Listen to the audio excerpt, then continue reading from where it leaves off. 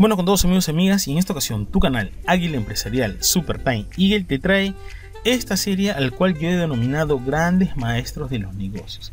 Y voy a empezar la serie con un personaje que muchos de ustedes lo conocen. ¿Por qué hago esta serie? Para que ustedes, futuros líderes, futuros empresarios, grandes líderes, sean unos estrategas. Esto es producto de una investigación. Lo voy a plasmar para rescatar las ideas que nos permitan dar un paso adelante en la gestión de negocios, estrategias y más. Y empiezo con este personaje. A ver, cuando yo tenía 19 años tuve una visión del futuro y basé mi carrera en aquello que vi. El tiempo fue testigo de que había tomado la decisión correcta. Bill Gates, señores. En esta ocasión presentamos a este maestro de la era de la información, el famoso Gates. A ver, no, si no fuese por Bill, el computador personal aún no habría conquistado el mundo. Este hombre, este empresario, logró el éxito con Microsoft al llegar al umbral de la nueva era, combinando tecnología ampliamente conocida con la aplicación práctica de las ideas de negocios que también las tuvo muy poderosas. Gates es un maestro de la tecnología del software, sin embargo le digo que él no es ningún genio tecnológico, sino que es un brillante hombre de negocios, que ha encontrado inspiración incluso en los momentos de crisis. Esta habilidad que él tiene, estas relaciones y estas estrategias te las voy a narrar y voy a empezar con una microbiografía para continuar pues con estos capítulos que podemos analizar. Eh, acompáñame, suscríbete al canal si deseas más videos como esto. Seguramente van a aparecer más casos de grandes maestros, menciónenlos aquí en la cajita de comentarios para seguir haciendo esta serie. Y voy a aprovechar para hacer un pequeño cherry eh, es que tengo un canal secundario que es eh, Jaguar Empresarial. Ahí también voy a subir videos por un tema de que la plataforma está sensible con, con los creadores de contenido, como es mi caso, por eso que no subo videos constantemente. Acompáñame, suscríbete a este y al otro canal, eh, Jaguar Empresarial, para continuar con esto. Bueno, continuando. William Henry Gates III nació en el año de 1955 en el seno de una influente y acomodada familia de Seattle en el estado de Washington al noroeste de los Estados Unidos. Esta familia, su padre lo envió a Harvard a estudiar leyes, que es la profesión que justamente el padre de, Gay tenía. Su historia no es la después de un niño pobre a quien le fue bien. Sin embargo, la saga de Microsoft es típica de la industria electrónica. ¿Cómo es esto? Una empresa pequeña que se hace próspera y crece. Gates asistió a una escuela privada, él se destacó en matemática y desde muy joven se vio atraído por computadoras personales que estaban en esta etapa operacional.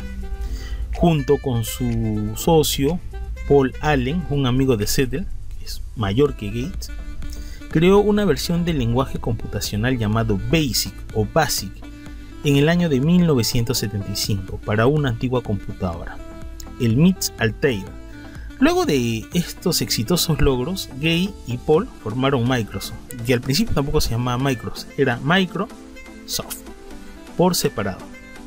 En el año 77, Gates abandona sus estudios para concentrarse en, esta nueva industria. La gran hazaña de ambos ocurrirá o ocurrió en el año de 1980, cuando dos ejecutivos de IBM visitaron a Microsoft para encomendarles un trabajo de BASIC para su nueva computadora. Un programa de trabajo urgente con plazos cortos sin precedentes.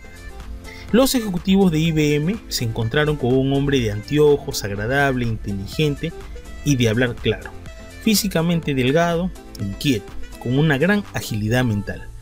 Desde entonces Gate no ha cambiado. Lee mucho, se especializa en realizar tareas múltiples y se les ingenia para brindarle a Microsoft el máximo de su atención. Esto era cuando él continuaba en Microsoft, hasta que después funda su ONG junto con su esposa. Bueno, vamos a continuar con esta narración para rescatar, ver un poco la biografía, pero enfocándolo desde el punto de vista empresarial, no la clásica biografía que te va a contar que su mamá fue tal persona, su papá fue tal persona, no, sino centrándonos en este personaje y rescatando eh, las mejores enseñanzas sobre los negocios. Y este, este personaje, Gates, es un personaje muy hábil, un estratega, que siempre lo menciono, incluso en un anterior video también mencioné a, a Banquero Rossi, el espectacular peruano, el hombre, uno de los pocos magnates que aparecen en la historia de latinoamericana, Hay más, sí, pero es un latinoamericano interesante. A ver, continuemos con Gates. Pareciera porque este personaje no tiene más interés que su familia y su magnífica mansión y bueno, ahora su ONG. Solo sus inversiones fuera de Microsoft están evaluadas en más de 12 mil millones de dólares. Sus acciones de Microsoft valen 7 veces más que esta suculenta suma. Incluso diría que más. A ver, empecemos con este capítulo. Yo, yo lo voy a llamar creación del estándar de la industria. Si bien es cierto, ahora para nosotros es fácil acceder a internet, a una computadora, una computadora básica de tubo de rayos catódicos incluso. Esto fue al inicio, hace años 90, 80. Acuérdense que esto, el fenómeno computacional viene desde los 90, pero antes era diferente. Si no me crees, pregúntale a tus padres. Incluso ahora conectas el USB. Antes habían los discos de 1.44 el otro disco grande que era, no me acuerdo la, medida, pero era muy diferente. Entonces, en este capítulo voy a hablar de la creación del estándar, subrayo, estándar en la industria. Tienes un producto estándar en la industria, ¿me entiendes? Tienes que estandarizar tu producto. A ver, esta riqueza no fue pues producto del trabajo en BASIC, sino de las otras necesidades de IBM. El software operativo para las computadoras que IBM necesitaba Gates se, esforzó por conseguir el contrato. Luego se acercó a otra compañía de software, miren esta inteligencia, eh, Seattle Computer Productos, y adquirió un sistema operativo llamado QDOS. ¿Qué significa en inglés Kid and Dart Operation System? Traducido sistema operativo rápido de discos. Más tarde Gates y Allen lo modificaron para adaptarlo a las necesidades de IBM y lo bautizaron como MSDOS, Sistema Operativo para Discos de Microsoft. O sea, miren al inicio cómo esta empresa con estos dos cofundadores empiezan ya las estrategias para ganar la confianza de un grande. ¿Quién es el grande? IBM. De ahí se lo entregan a IBM, como lo menciono, a un precio relativamente bajo, dando un golpe certero a las empresas de la competencia.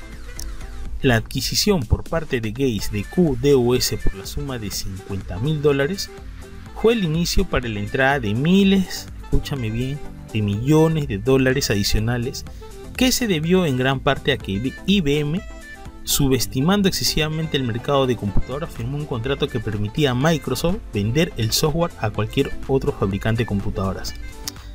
Observa, o sea, mira la estrategia. O sea, Bill como lo mencioné, no fue ningún genio. Es un gran hábil empresario del cual debemos tomar ciertas lecciones que tenemos que aprender. Él, le piden un trabajo, eh, crear un software para una computadora. Él no lo crea primero porque le ganaba el tiempo. Él lo compra a una empresa hace unas modificaciones mínimas, le cambia de nombre, revende el producto. Incluso no solamente le revende, sino que negocia que ese producto no le pertenece a esa empresa, sino que él puede vender ese software a otros fabricantes. Mira esta primera lección. Cuando comenzó el auge de esto, eh, lo que sorprendió a IBM fue el flamante futuro económico de Microsoft de Microsoft, ya que estaba asegurado a pesar de la creciente molestia de IBM por la jugada que mencioné que hizo Gay con Allen. Aun cuando sus ventas y utilidades aumentaban astronómicamente con el auge de las PC IBM y de las PC compatibles con IBM, una constante amenaza para Gates era que IBM terminara con el vínculo vital con MS-DOS, o sea, con el sistema operativo que había creado Gates, protegió a Microsoft como pudo al asociarse con IBM en el desarrollo de un nuevo sistema operativo, el OS2. Cuando los ejecutivos de IBM estaban decididos a terminar con la sociedad del OS2, Gate logró obtener una postergación en junio del año 1986 en un almuerzo con su presidente ejecutivo John Harger, él aguanta este. Un momento, tenemos un contrato, hay que respetarlo podemos continuar haciendo sociedad. Pero mira el genio estratega, como le dije, este no es una biografía así desde el punto de vista pues de, la familia, de la historia, de que Geyser era un super genio, admirado y odiado por, por sus compañeros, ¿no? sino desde el punto de vista estratégico. Bueno, continuamos amigos de este canal, continuamos con este interesante relato y aquí vemos cómo Gates va a la captura del mercado de las PC, de las computadoras personales, computer personal o personal computer. En un plazo de apenas superior a tres años, la guerra entre IBM y Microsoft se hizo pública. En el año de 1990, Gates obtuvo un holgado triunfo con el lanzamiento de Windows 3.0. O sea, estamos hablando de épocas primitivas pero interesantes. Usando la misma técnica. ¿Cuál es la técnica? Interfase gráfica para el usuario. A ver empresario, a ver líder, a ver, a ver comandante de empresa, futuro líder. Interfase gráfica para el usuario. Acuérdate que antes, eh, si alguna vez usted ha operado, ustedes ochenteros, noventeros posiblemente, eh, para trabajar con una computadora se necesitaba poner eh, todo escrito en comandos. ¿Es correcto? Después, con el transcurso de la evolución tecnológica, se empezó a hacer gráficos y el uso del mouse. ¿Para qué? Para que esto sea mucho más rápido. Comprendido esto, continuemos. A ver, ¿qué había hecho tan popular a Macintosh de Apple? acá aparece el otro genio, este genio loco, Steve Jobs. Un hombre que sí revolucionó eh, la tecnología, revolucionó porque él tenía otro concepto muy interesante, confrontacional. Y me acuerdo de una frase de Steve Jobs que decía, pues si tú vas a hacer este algo y luego le vas a presentar al cliente varias variaciones de, ese, de esa creación, al final el cliente no va a querer ninguno. Pero tú me vas a decir, pero ¿cómo es esto? Porque hay clientes que quieren que sea, digamos, si tienes el monitor de un color, quiere que sea de un color celeste claro, celeste más oscuro, blanco, blanco, blanco cielo, blanco humo. Entonces él dijo, no, preséntale el producto y si el cliente lo desea así como está, así tiene que llevarse. Y con eso vas a minorar todo el gasto de que te vas a averiguar, de, del mercadeo, qué es lo que necesita el cliente. No, preséntale el producto y si el cliente lo necesita, lo va a utilizar. Este fue Jobs. Continuemos con Gay. A ver, gracias a los iconos gráficos y menús del despliegue en la pantalla que ofrecían esta interfase gráfica, el nuevo producto vendía un millón de copias mensuales y esto es en el año de 1993. Esto dio a los usuarios un acceso mejorado a las aplicaciones abriendo otra oportunidad para Gates. Ahora, Microsoft podía crear y vender una completa línea de programas de aplicación para usarse con el famoso Windows, que en algún momento de la historia también les comento amigos en este canal, este interesante hombre de negocios quería patentar la palabra Windows. Sí, imagínate, por decir Windows traducción ventana, ventanas, quería cobrar. O sea, estaba ya obsesionado con el dinero. Para él todo era dinero, todo era eficiencia, eficacia en la obtención de ganar utilidad con sus productos. Hay que analizar esto para que, para que comprendamos que ellos a veces eh, ambicionan. La ambición no es mala, es muy buena, pero a veces se pasan de revoluciones. Tomemos las mejores lecciones, que está cada vez más interesante. A ver, productos como el profesor de textos Word y la plantilla de cálculo Excel son casi tan omnipresentes como el MS-DOS y Windows. Hasta el día de hoy, hasta este año, Word, que es una hoja, una plantilla, es una hoja en la cual tú puedes desde escribir una tarea para el colegio hasta escribir una obra como esta hoja de cálculo llamada Excel que te sirve para justamente los que estamos enfocados en este canal llevar las finanzas, llevar la economía, entender e interpretar los números es muy interesante, que poseen un 90% del mercado de los sistemas operativos para computadoras. Hasta ahora, incluso hasta iría un poco más. Gate siguió adelante. ¿Con qué? Con este producto llamado Windows NT, que fue un producto más poderoso para el mercado corporativo y esto apareció en el año 1993. Acuérdate que estas versiones de Windows salieron en una saga muy conjunta probando en esta famosa prueba de prueba y error. O sea, no es que el producto sea 100% útil, había errores. De esos errores, los que saben de, informática, de software, van a saber que hay parches, esos parches son para menguar estos errores. Entonces, no es que ellos tenían el producto perfecto, el producto ideal, no. Esto se corrige en el camino. ¿Por qué? Porque si vas a esperar a tenerlo todo perfecto, vas a perder clientes, vas a perder mercado. Y el mercado y los clientes son dinero. Y no puedes perder dinero. Tienes que mandar el producto. Por eso que venía ese mantra que dijo Jobs. Tienes que darle al cliente así tal como está. Si el cliente quiere a su color, bueno, él lo pintará. Tú le vas a ofrecer así. Monitor, pantalla, case, todo de un solo color. Y acuérdate que antes todas las computadoras, a ver, te digo para que tú lo sepas, todas eran de color un blanco humo. O sea, no había como eh, computadoras como ahora hay monitor negro, monitor rosado para las chicas, o sea, monitores de colores no, el mercado está diverso, antes no, antes era un, el monitor y el case, la impresora, eran un solo color, blanco humo. Búscalo en internet si no me crees. A ver, a ver, estamos en, en esto de que él creó pues, el producto Windows NT para corporativo. Y al igual que la primera versión de Windows, venía con serios defectos. El enfoque pues que le da Gay siempre ha sido lanzar primero y mejorar después, incluso de manera radical. Hay un viejo adagio que dice pues que la carga se acomode en el camino. ¿Me entiendes? Tú manda el producto, lo vas a mejorar. No esperes la perfección, la perfección no existe. Empieza ahora, empieza ya. Lo que funcionó también con Windows 3.0, también sirvió a NT las cifras de y de personal y las cifras de ventas y de personal de Microsoft aumentaron desmesuradamente, al igual que las utilidades y el precio de las acciones. Cada avance en el mercado de acciones daba como resultado un nuevo millonario en Microsoft. Sin embargo, todos los ahorros de los empleados eran sobrepasados por la fabulosa fortuna creada por Gates. Su reputación como genio tecnológico, inmerecida algunos miran, ¿es merecida? No, es un gran, es un gran estratega, eso te lo puedo decir. Genio, supo asimilar, supo saber lo que el mercado necesitaba, sí.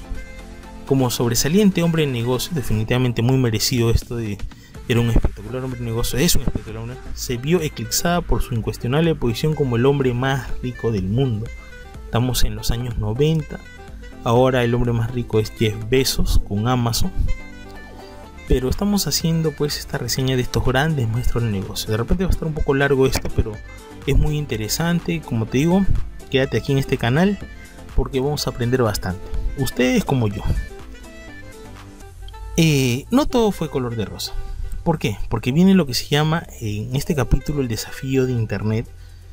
La adulación y el éxito adormecieron la visión de Gay tras haber derrotado a IBM en forma decisiva la empresa casi vencida y al no reaccionar ante el temprano y obvio desafío de Internet, dado que los sistemas operativos y las aplicaciones podían ser bajadas desde el ciberespacio, traducido a Internet, la hegemonía de Microsoft pudo ser socavada al igual que la de IBM en mayo de 1995.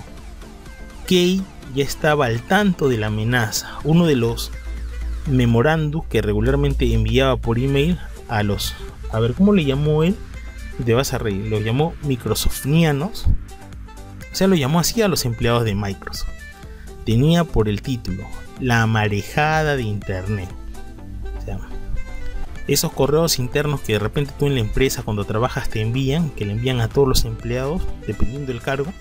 Si es un staff de vendedores, si es un staff de lo que sea, les mandan un, con un solo título el dueño, la directiva, así a esa nueva tecnología le dio el nivel de importancia más alto. esto tiene que estar ya, para ayer. No para hoy, sino para ayer, o sea, ya, ahora. Miles de millones de dólares de capital fueron destinados a la conquista del nuevo mercado, especialmente de esta empresa llamada Netscape, una empresa interesante también, ya la comentaremos. La compañía cuyos buscadores de internet, inicialmente entregados gratis, habían tomado este mercado en su puesta en marcha en el año 1994, logrando una capitalización del mercado equivalente a unos 5 mil millones de dólares en diciembre del año siguiente. A ver, Gay tenía un arma muy poderosa que todavía no se fundaba. O sea, él nunca jugaba sus cartas así, siempre tenía una carta bajo la manga. ¿Cuál era? Consistía en obligar a que los fabricantes de computadora cargaran anticipadamente el buscador de Microsoft en sus máquinas como si este fuese una parte supuestamente integral de Windows 95. Mira, ya estábamos en Windows de 3.0, ahora estamos en Windows 95 que fue el sucesor de Windows 3.0. De ahí viene Windows 98, XP. Aún cuando fue comercialmente exitosa, la embestida contra Netscape hizo a Microsoft legalmente vulnerable. ¿Pero por qué? A ver, te digo esto. En el año de 1998, la demanda antimonopolio del gobierno de los Estados Unidos, esta demanda antimonopolio, a ver, vamos a cortar un poco acá, van a traerme a la memoria otro gran, otra gran demanda antimonopolio que hizo el gobierno de Estados Unidos contra otro hombre poderoso que te lo voy a recordar. John Davison Rockefeller. ¿Te acuerdas de él? Él es el hombre más rico que vivió en la Tierra. Hubo otro más, un africano, si no me equivoco, pero estoy hablando de estos americanos empresarios monopolistas. Y así como él, a, Gay también le hicieron su demanda. Sino que en el, caso de Rockefeller, este, a la empresa la dividieron en muchas empresas, obviamente. El dueño era el mayor accionista de cada una de las empresas, lo cual no fue. O sea, en vez de perjudicar a la empresa, más bien le hizo más rica. Porque al ser el mayor empresario y dividirle en muchas empresas, esto fue una simulación, porque al final él era dueño de todo. O sea, tú podías comprar este el, el petróleo en, en cualquier empresa, una de ellas ex, Exxon si no me equivoco, y todo ese dinero iba para Rockefeller. Fue contraproducente. continuamos con Gates. A ver, se fue a juicio trayendo consigo meses de desconcierto y un veredicto hostil para Gates y la empresa. Casado ahora con Melinda French, su actual esposa, ella fue pues una ex empleada de Microsoft y con dos hijos, Gates se encuentra en una encrucijada. ¿Cuál fue la encrucijada en ese año? ¿Perdería el control sobre una industria en la que él ha trabajado más que nadie o podría revertir la creciente oleada de opiniones favorables? A ver, ¿qué pasó con Gay? Como todos los grandes líderes, como todas estas estrellas empresariales, siempre les gusta eh, a la afición, no les gusta toda esta gente poderosa. Mm, honora la verdad que mucha gente pues quisiera que todos sean iguales en el sentido económico, cuando otras personas como ustedes, los empresarios, prosperan, a veces hasta los miran mal. Y esto no solamente ocurre acá, ocurrió desde épocas anteriores. Y esto lo narro, incluso a Rockefeller, el, el más querido y el más odiado a la vez. Eh, pasó con este con Carnegie, pasó con Banquero Rossi, el empresario peruano que lo asesinaron. Y muchas figuras importantes en la historia de los negocios entonces con el mismo Steve Jobs. Entonces, el gay se vuelve una figura impopular. La opinión pública ha estado en contra de gay debido a su gran éxito. Eso lo, estoy diciendo, o sea, siempre a la persona exitosa siempre lo quieren ver perder. Las personas pareciera que no toleraran que fueran, que fueran exitosos, que fuéramos exitosos. Por eso te digo, o sea, ser exitoso es una decisión, una decisión que no es fácil de llevar. Entonces, tú tienes que ser tienes que tener ese valor para continuar con tu empresa. Las lecciones son difíciles, pero tienes que asimilar esto, porque tú estás ayudando a la sociedad con la empresa. Verlo así. Dentro de la industria informática, el poder de Microsoft de destruir a sus adversarios y de dominar sus términos comerciales con los fabricantes eh, de computadoras despertó más que sentimientos de envidia las empresas se maniataban por sus ganancias y proyecciones a medida que Microsoft ampliaba su rango de productos y ambiciones. En cuanto a los compradores de computadoras, aceptaban el software de Microsoft que venía incluido como algo natural.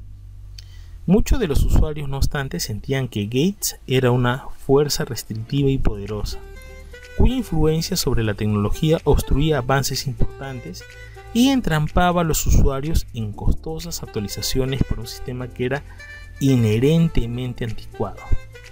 Esta sensación dio paso a una hostilidad que se expresó de varias maneras, desde los ataques de Internet hasta publicaciones de libros algo así como Los Bárbaros dirigidos por Bill Gates. Una mirada al interior de Microsoft. Había libros que tenían estos títulos que eran pues prácticamente un ataque contra, contra Bill Gates y su empresa.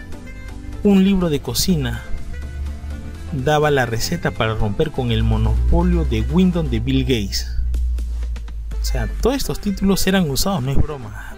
En Estados Unidos en esas épocas era así, usando el sistema operativo en CD de Linux. Linux es el sistema operativo gratis que no tiene mucha acogida, digamos. O sea, tienes un, segmento pero muy pequeño que usa Linux con todos sus derivados. Se refería a un nuevo sistema disponible gratis en Internet o por intermediarios que cobraban menos de lo que Microsoft cobraba por su sistema.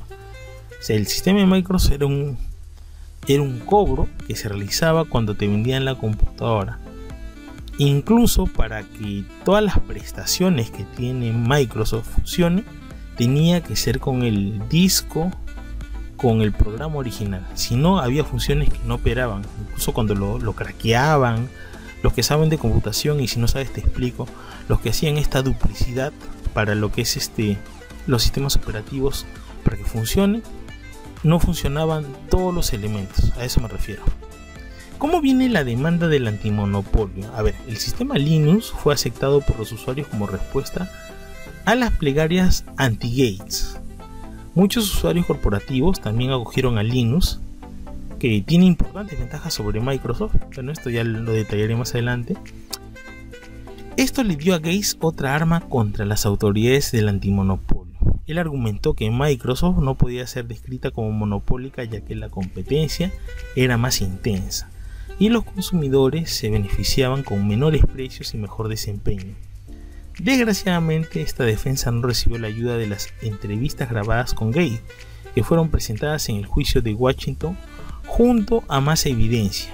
¿Y cuáles fueron las evidencias? Los famosos emails internos los emails que le llegan al, a todos pues que trabajan en una empresa, esos emails que lo manda el, gerente o lo manda la junta directiva, sí, esos de ahí.